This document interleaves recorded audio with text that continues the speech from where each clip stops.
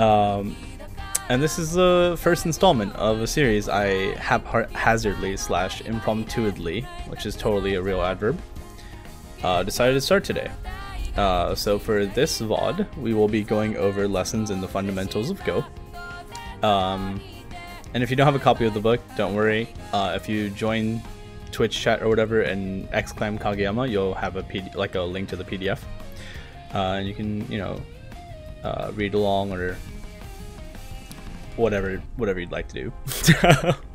but yeah, uh, it's considered a really important book. A lot of Go players will have read this book. Um, I admittedly admittedly have not read it all the way through. Um, but yeah, so for example, Weichi Zed, who just commented, uh, they have it on a book display, and this is one's on the top shelf, and they, you know, yeah, feel free to read along. But uh, yeah, so today we'd like to go over the preface, introduction, and the first chapter.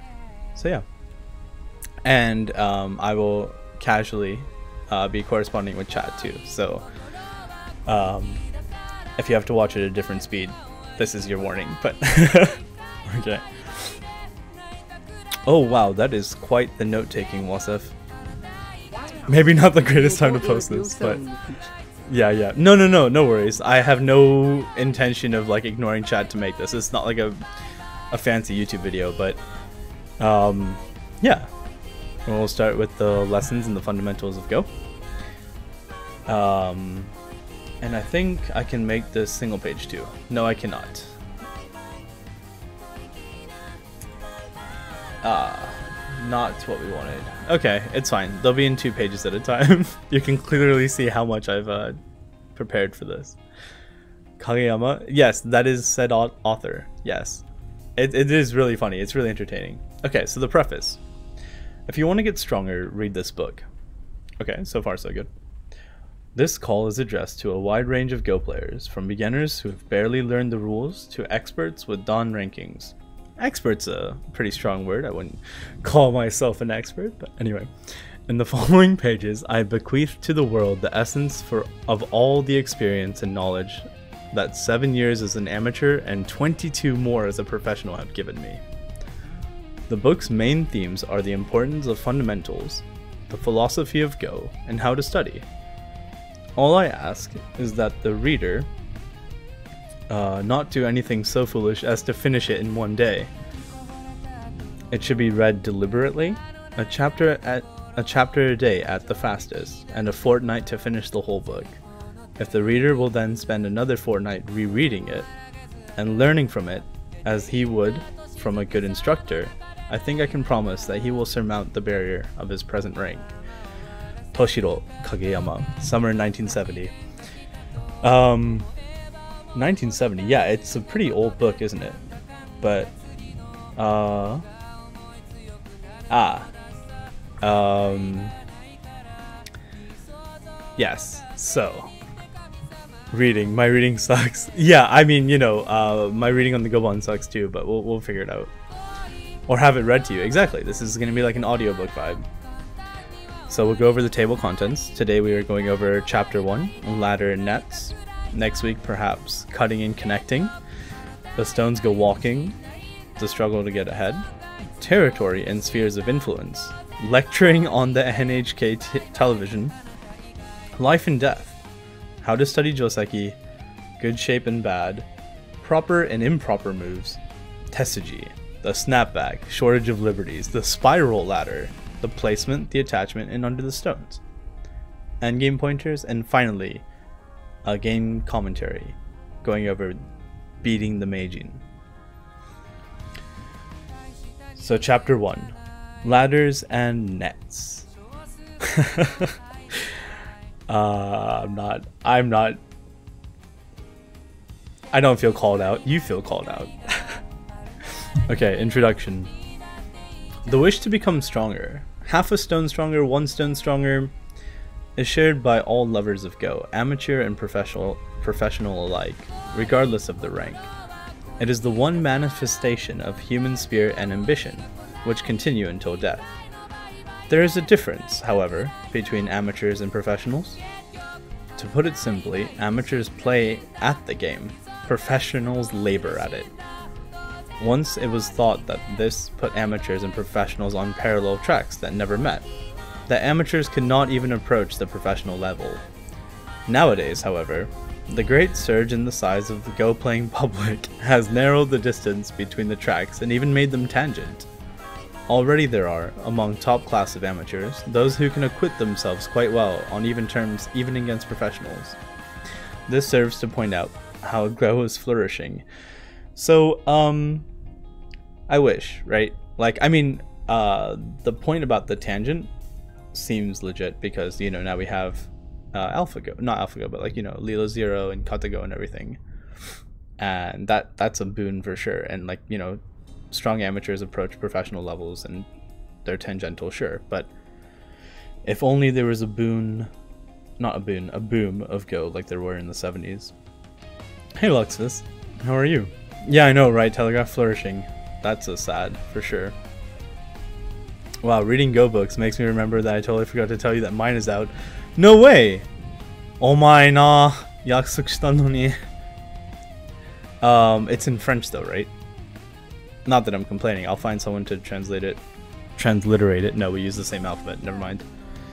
Um, but yeah, feel free to link it or whatever if you have a link or you know, um, or like if there's a paywall or if a journal published it or whatever, just link that too. You know. Um, but yeah, okay.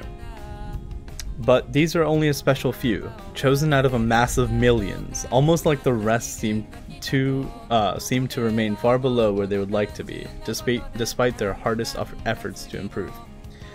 What should one do to become stronger at Go? This must be something that every Go enthusiast wants to know. I can recall many times that I have been asked this question. The real answer may that may be that there is no single definite answer. But saying that amounts to saying nothing. I always wanted to answer the question. I always wanted to answer the question, but it seemed impossible to deal with it in a few words. I wanted to try writing a book, one about which I could boast, if you want to get stronger, read this. Now that I have the chance to do so, I am thrilled at the prospect of talking all of my own experience and distilling it into one volume to offer the world.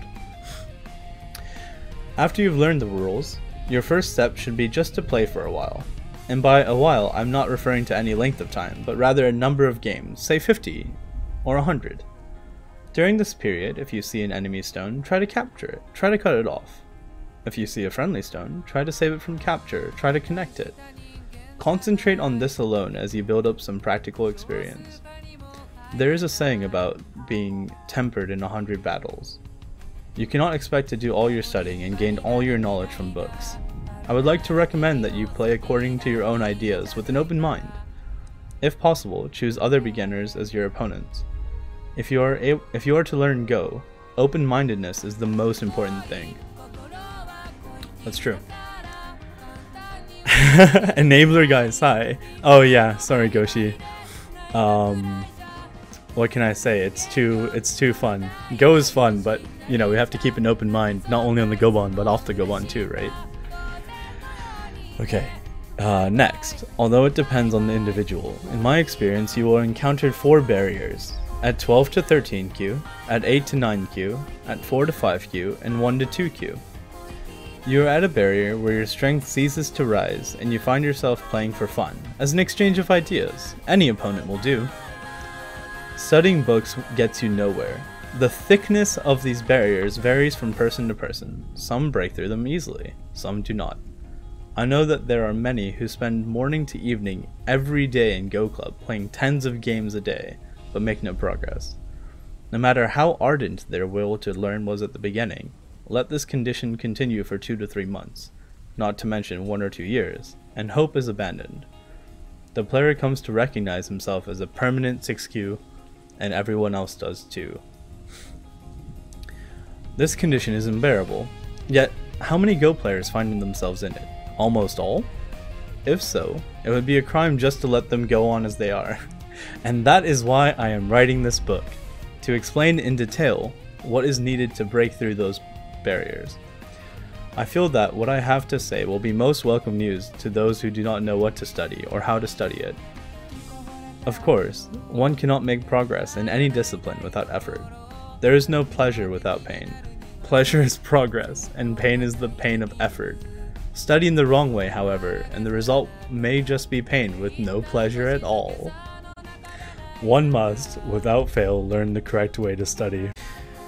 Ladders. Still on ladders? Ridiculous. Even looking at this page is beneath me.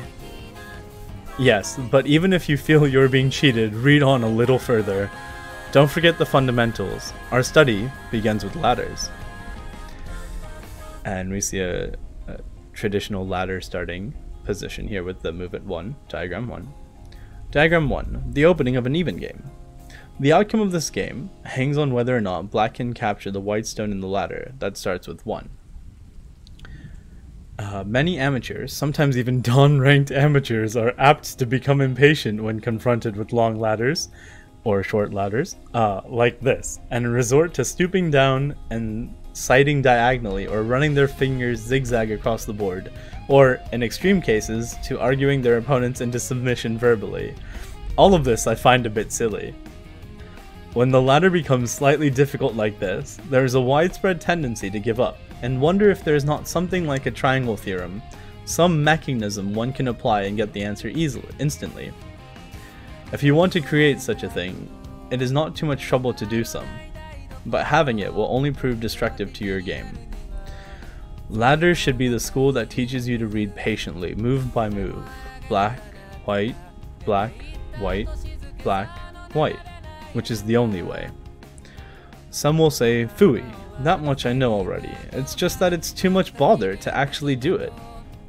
Others will say, look, I'm still weak at the game, I can't do anything difficult like reading. So much for these lazy students, let them do as they please, they're not going to get anywhere. They need to be grabbed by the scuff of the neck and have some sense knocked into them. Diagram 2 well then, how about this diagram? Can black capture the stone in a ladder? Without laying the stones on the board, can you follow this out? White, black, white, black, to the very end, by eye alone? What is your conclusion? The next diagram, diagram 3. Black grips the white stone, white escapes, black blocks in front of him, white escapes, black, white, black, white, black, and there, white loses 7 stones. See? You can read it. Look at diagram 2 once again. Black, white, black, white. You can read it. Again, do some repetition practice. When you feel secure, move the left hand bunch of black and white stones a line, or two lines, or three lines out diagonally. Read it again. Anyone whose eyes start to prickle or who gets a headache has a bad case of astigmatism and should see an optometrist at once. Confine your practice to this one exercise every day until you can read the long distance ladder in diagram 1 with the greatest of ease, right out to its end. When you can do that, rearrange the black and white stones in the lower left corner, use your ingenuity, and try reading again. That's the way. Okay. This exercise will earn you a valuable reward, the confidence that you can read any ladder anywhere anytime. This confidence heralds your next big stride. A great many people have broken through their barriers by sticking persistently to this method of mine. Habit is a frightening thing. Keep at it every day, and soon the ladders that used to plague you will become the easiest things in the world to read out. You will not have the slightest difficulty reading out a straight ladder like the one in diagram 1 in a few seconds, a superhuman feat to anyone who does not know the game of Go, although a feat hardly worth mentioning to a professional. Even a beginner should be able to make short work of something like this. Let's go on. Diagram 4. Black to play. Obviously, if the ladder works, he should play at A, but what should he do when the ladder does not work? This may give one pause. Diagram 5. In certain circumstances, a shorter play like black 1 is effective, but here white comes out with 2 to 6, and black accomplishes nothing. Locally, one's first instinct is to jump out to black 1, but after white 2 to 6, black's 3 stones are in a very tight spot. This is no good either. So in diagram 7, let's look at the whole board. If the formation in the upper right corner occurred in this opening, what should black do? How about playing a ladder block at 1? Locally, at least, white has to defend it too, And now the question is whether the ladder works or not. Well, answer. Given the exchange of black 1 for white 2, black can capture white in a ladder. Naturally, black has to have anticipated white 2 and read out the ladder at 3 before he plays 1. Next, white shifts to 4, or to some such point. Here, black captures at 5. This is important. I imagine there are those who think black ought to wait until the ladder becomes broken and then capture, but uh, that is the shallow thinking of an amateur. Black 5 is the proper time to capture. To leave this move unplayed and turn elsewhere would be like trying to run a business while in debt. That would give me, at least, a very uneasy feeling. Of course, if you ask a person who is afraid of going into debt how, uh, of course, if you ask how a person who is afraid of going into debt can run a business anyway, I will have to confess that I have very li little experience in that line, so I cannot really say anything. So, two things about that.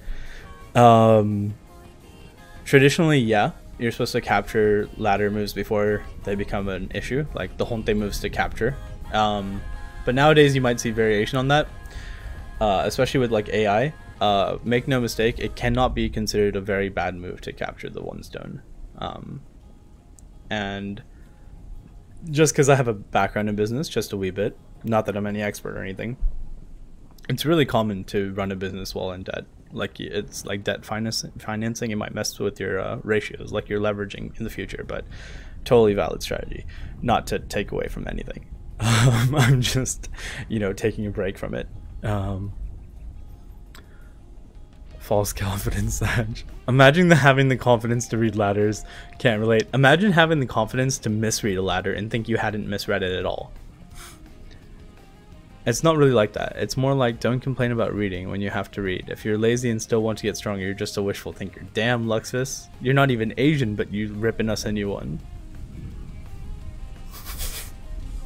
Boom, got him amateurs. Hell yeah. In America especially, it seems running a business in debt isn't totally normal. It's like you're doing something wrong if you're not in debt. Well, I mean, it's not. It's not about. Uh, well, in my opinion, anyway. Uh, it's not about geographical location. It's just about you know, probably not the best idea to run like a sole proprietorship in debt or anything, but um, yeah. oh, okay, okay, my solid. Okay. Okay. Diagram 8. To go back to the moment when black 1 uh, definitely establishes the ladder, is there not the danger that white will ignore 1 and resist with 2? Depending on the situation, this is naturally a possible move. In this game, however, it is not one that white should adopt. Given black A, white B, black C, after white 2 and 4, black has decidedly the better position. Yeah, uh, cutting the camo in the corner is pretty significant.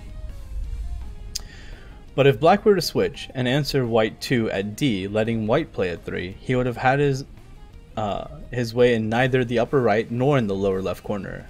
Irresolution is a vice. There are th various other things to be said about ladders, but the main point is that they branch into no variations, so don't be lazy, practice reading them. Occasionally, some periodical proudly announces that it has discovered a shortcut to reading ladders. Some worthless white elephant with four or five dotted diagonals and a heavy black lines. Even if you could understand it, it would not do your game the least good. Such things are ridiculous.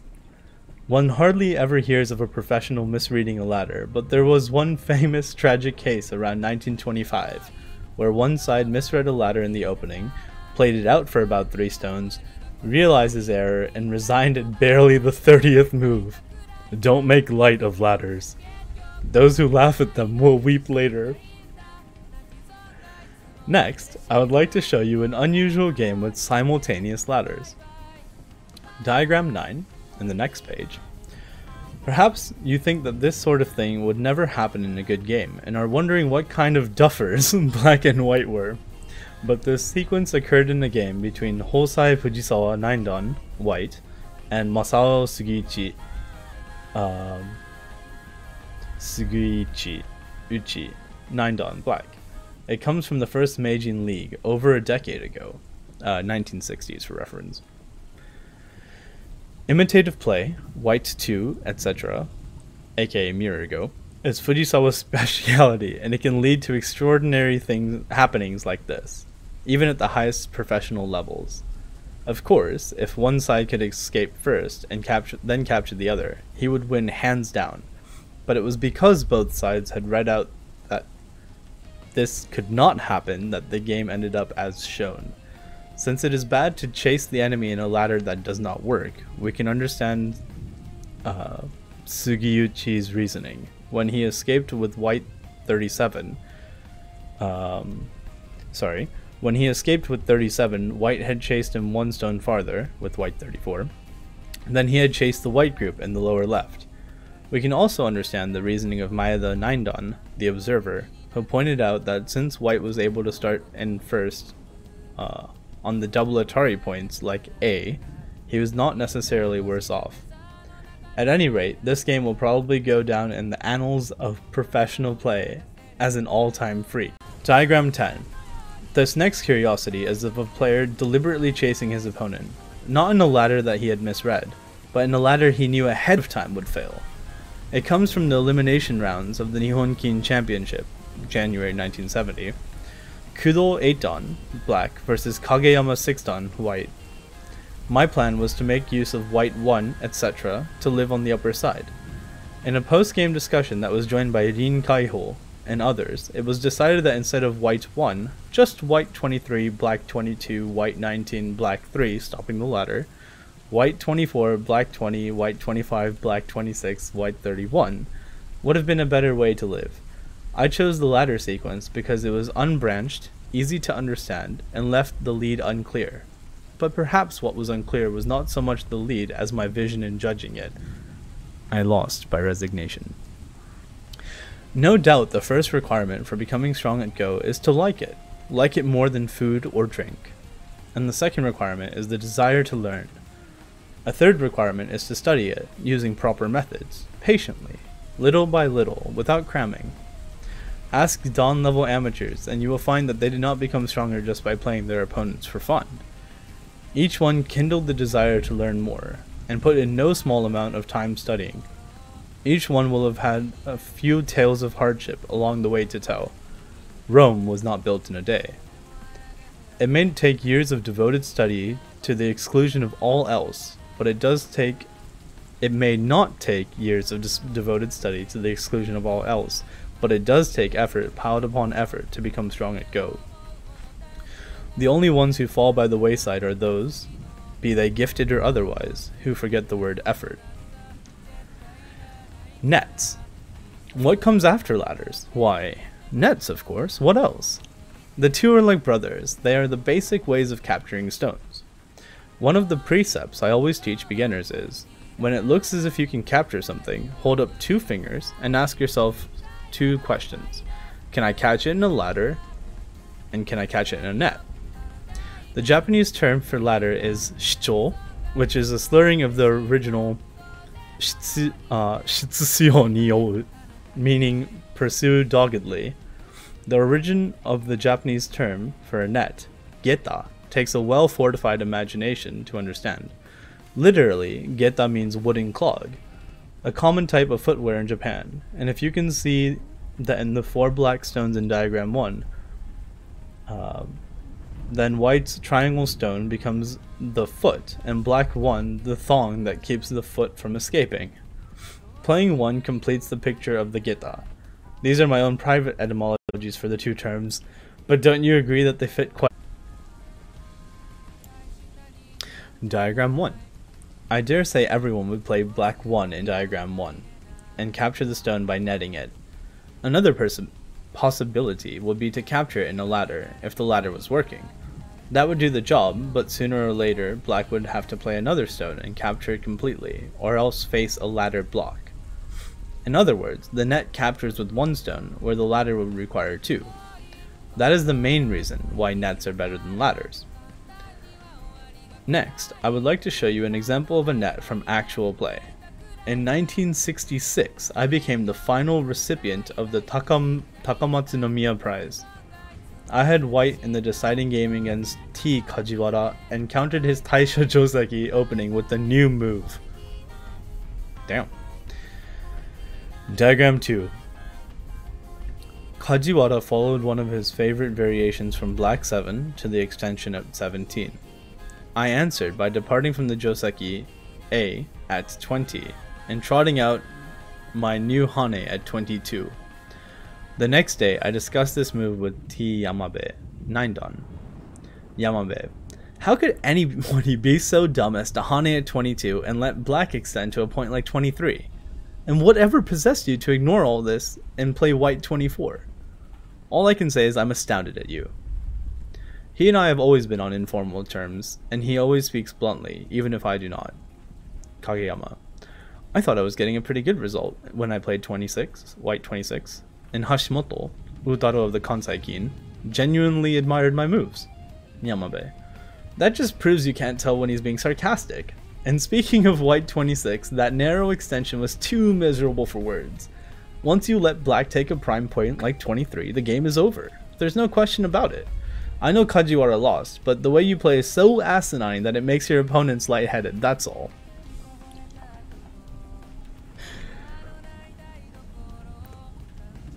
Now that I set these words down on paper and reread them, they sound almost insulting, so let me make it clear for the sake of the art. Strong and outspoken language, which makes a deep impression, is most welcome. Even though there may have been an element of insult present, and here and the hearer definitely did not feel insulted. When I asked Kojima 6 dan and Yokoyama 5 dan, they agreed that white 22 was bad, because of black, black 23. My proudly played new move was getting a poor reception at all sides. The next day, however, uh, Sugiuchi 9 dan described white 22 to 26 in the Go column of the Tokyo newspaper as a new pattern that gives a fair result. This was more like it. My sinking spirits revived a little. How can professionals have such wildly differing views?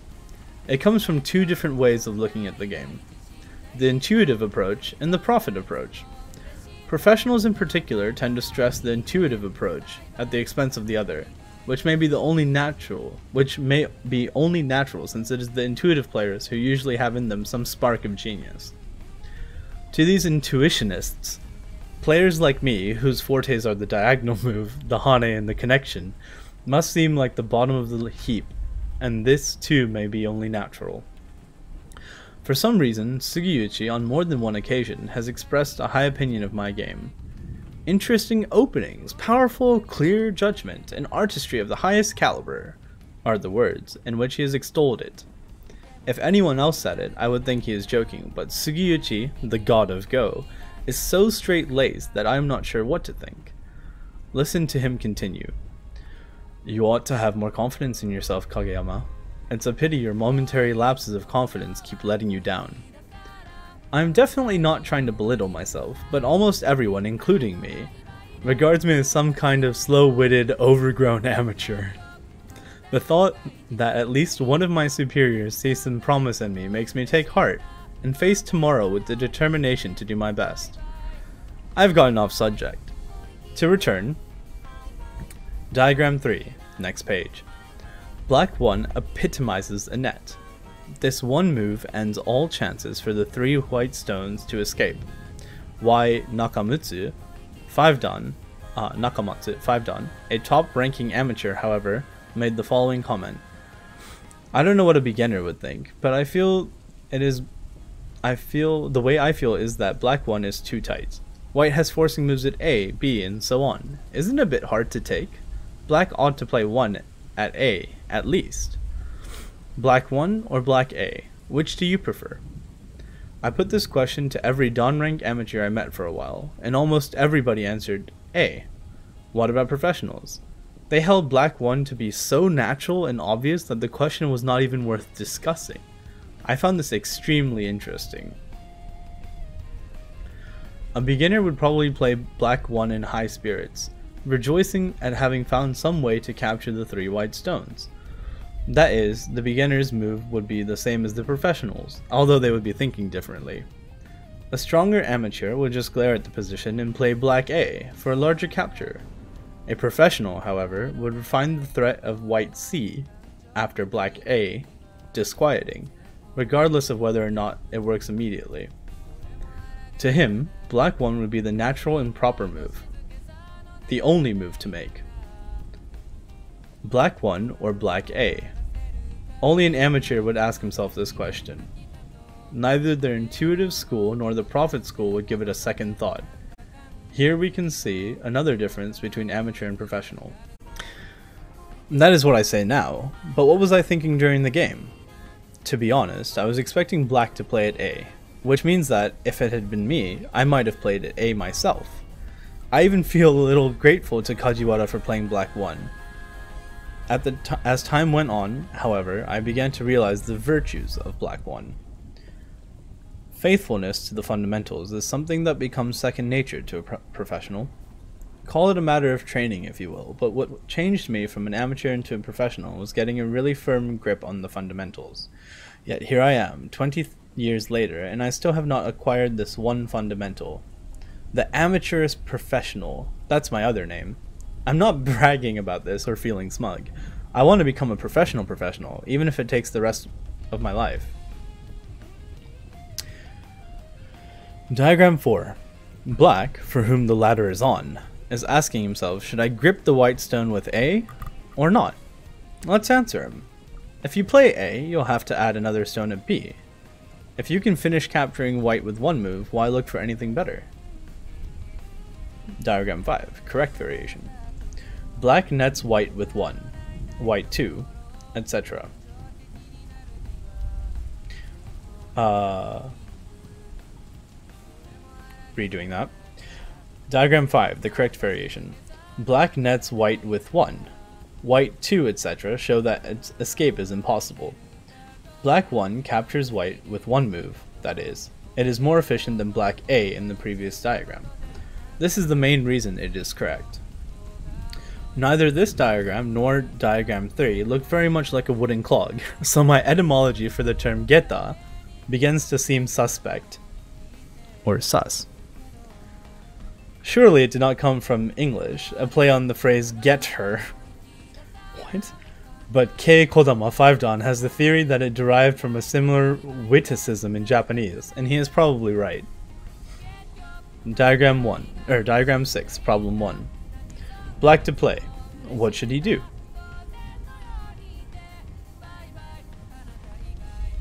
Diagram 7. I dare say this will be the most common answer.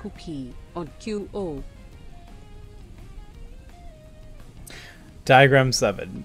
I dare say this will be the most common answer. You mean it's wrong? That's right, and it's wrong. Look, you can't be trying to tell me to capture the stone in a ladder. God forbid the thought. But look at diagram 8. You have this option here too. It's the kind of move that's easy to overlook. Diagram 8. The Atari at 1 is the correct answer. If white comes out at A, black nets him with B.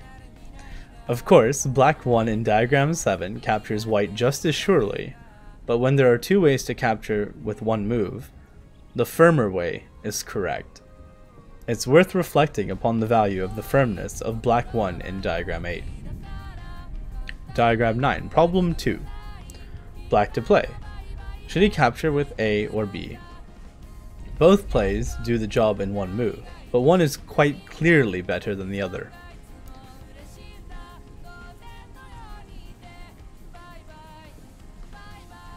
The correct answer is black A. If white tries to get out, black can net them. And if white tries to keeps trying to get out, black has the squeezing tesuji. Uh, the reason black A is better than black B is the same as in the previous problem. Diagram 10, problem 3. Black to play. How should they capture the uh, two white stones? If you got the first two problem right, and slip up on this one, you do not really understand the first two, for this is just an application of them. The answer is restricted to two points, A and B. Which? The answer is A. If white tries to escape at C, black stops them at D. Diagram 11, problem 4. Can black capture the triangle stone. Diagram 12, problem 5. Black to play. Can they capture the three white stones? We are getting into difficult terrain now, but even a beginner should not give up. Read it out move by move to the end, that is the only way. If you cannot guess even the first move, then, well...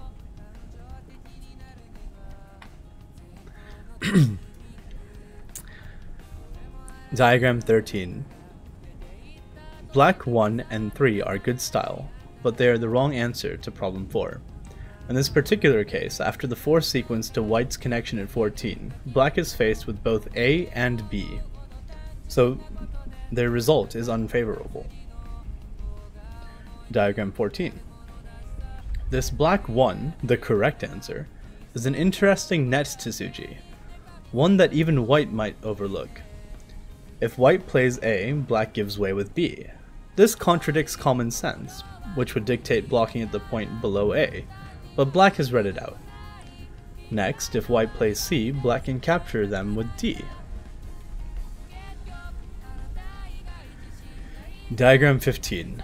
Black 1 and so on, which are the answer to problem 5, have to be thoroughly read out uh, through the next diagram, diagram 16, before black can play them. If white keeps trying to escape, black holds them fast with the sequence up to 8. It almost takes 20 moves, but ends in white's utter defeat. Were you able to read this out?